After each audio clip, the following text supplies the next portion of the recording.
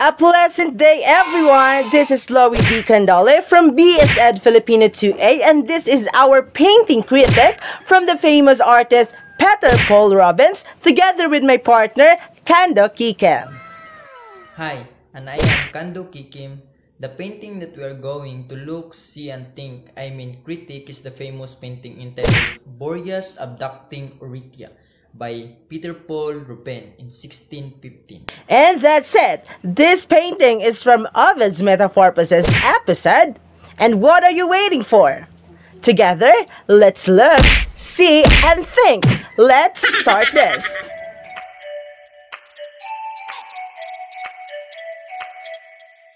And we have the lines. Peter Paul Rubens used diagonal lines to convey a feeling of movement in the painting. The character is in um, diagonal position that are unstable because they are neither um, vertical or horizontal. They are either about to fall or already in a motion. The, the angle of Orithyia and the Boreas and also the Cupid on the sky convey a feeling of movement or speed in the stormy scene. Let's proceed to the colors. In this painting, as you can see, the dark colors suggest a night or interior scene. Robin used light color to describe the light created by the goddess' physical appearance. It is associated with a positive energy and heightened emotion. In this painting, the artist or Robin captured both the seriousness and tension of the scene with a dull gray and blue interior. And now we have the shapes. Robin used organic shapes as manifested you can found in nature, but man-made shape can also imitate um, organic form like how the character dress look like. This silk used organic form to stimulate clothes and snowballs as a form of realistic painting. And we have the shading technique. Robin used blending that is a smooth gradations of value are produced by adjusting the amount of pressure applied to the medium or by using a blending tools like um, blending stumps. In the painting of Robin, the painting color make the painting more vividly realistic like on how Boreas abducts um, Orithyia. On the balance and symmetry, um, in this painting, the symmetry gives um, painting not only a sense of balance, but also a sense of calm, stability, anger, tension, and mystery. Notice in the particular the way that the body and the face and the scenery in the background are painted to make the work symmetrical.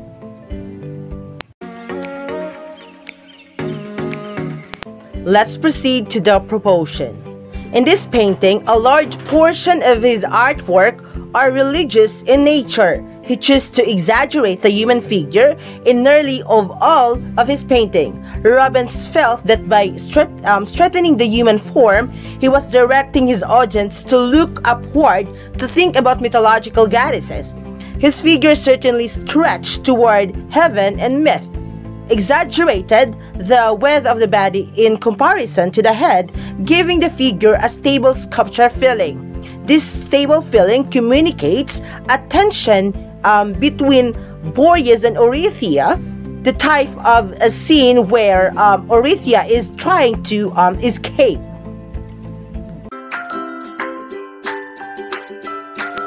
Last, we have the perspective. You can see um, Robin used an atmospheric perspective where um, an object in the background appear less detailed and lighter. Um, Robin um, often used a color blue tone in if you have ever looked at the background. In the distance, they appear to be a soft, um, a fuzzy blue tone with no definitions of winter growing on there. Notice on how the scenery in the background are more um, realistic and has a feeling of tension.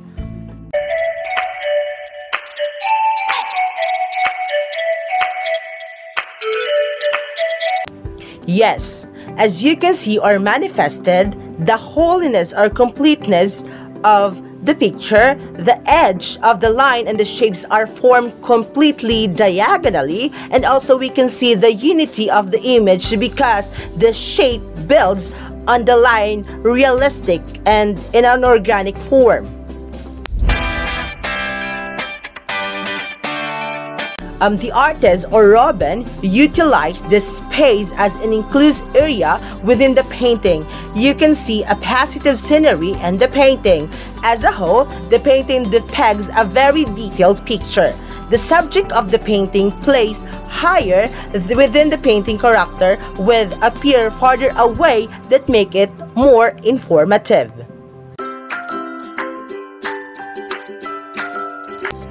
Yes, there are characters in this artwork. As manifested, a guy look like an angel or angel or a classical old man wearing a shorts, plated tunic and adorned with um, dark feather wings who is um, Boreas. Uh, he carry a woman who is Orithia, daughter of Erytheus, and also the Cupid who fight uh, fighting using a snowballs.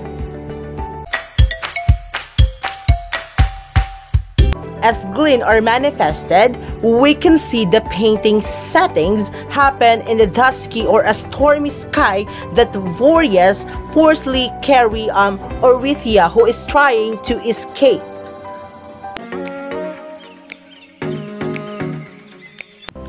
Robin used a blending techniques adjusting the amount of pressure applied to the medium you can see the combinations of dark blue and gray tone and the light that highlights the character and the painting.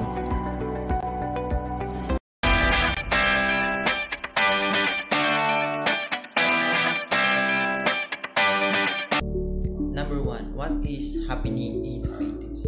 In this picture, the paintings of Provence, Boreas is represented in a classical case as a roughly bearded old man wearing a short, plated tunic and adorned with dark feathery wings. Boreas sweeps Orithia up in his arms and flies high, while a cluster of Cupid is in scene engaged in snowball fight. Number 2. What manners of representations does the artist use this? This painting represents an episode from Ovid's Metamorphoses. In Greek mythology, Boreas is the Thracian god and ruler of the north wind. He is old and has flowing green locks and wings. He fell in love with Eurytia, the daughter of Eurystheus, king of Athens. After failing to woo her, he decided to take her by force against her will. He carried her off to be his bride, clasping the neck girl firmly in his hands while cherubs are playing with snowballs. In Robin's representations, the bodies fill the picture from one side to the other, leaving no space for a sense of motions and flying. What emotions are represent, represented in the paintings? The figure fill the picture plane, overshadowing the dramatic actions of abductions. What is most likely the message of these paintings? Hold realizing the inevitability of fate, and such depictions display how a woman should behave under the assertions of authority. Number 5. What historical, religious, social issues are being represented in this artwork? The abductions and rape of Orithia by Boreas is a primary example of 17th century rape imagery that objectified the nude and vulnerable female form visually arousing the viewer with the portrayal of chase and abductions. Number 6. Is the author? How does his background influence this artwork? Peter Paul Rubens is the author of these art artworks. His background influenced the artwork because of the historical art happens in religious beliefs and methodologies that was from Ovid's Metamorphoses. And that's it for our painting critic. And I will leave you this quote. According to Jerry Saltz, being critical of art is a way of showing art respect. I hope you learned something in this video. Thank you for watching. Keep safe and God bless. Bye.